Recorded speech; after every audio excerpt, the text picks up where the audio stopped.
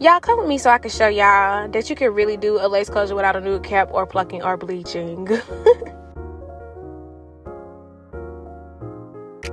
First off, pulling into my client house motivates me every time I come because it is straight goes. I'm talking about black luxury. This is my client, the lovely Leslie Ofori. She actually is a cake lady. So look her up on Facebook.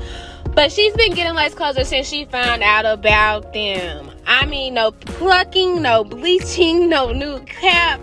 She actually took the time to ask me to stop y'all and bake her kids some cookies and then cool them down. Mother goes.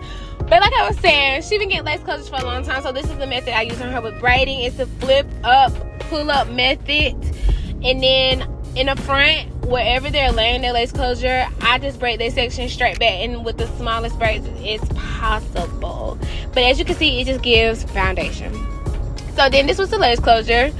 It was a little light, which is fine though, because all you need is some foundation. And I asked her for some, and she gave me the good stuff. So we used the Fenty foundation to go on the lace.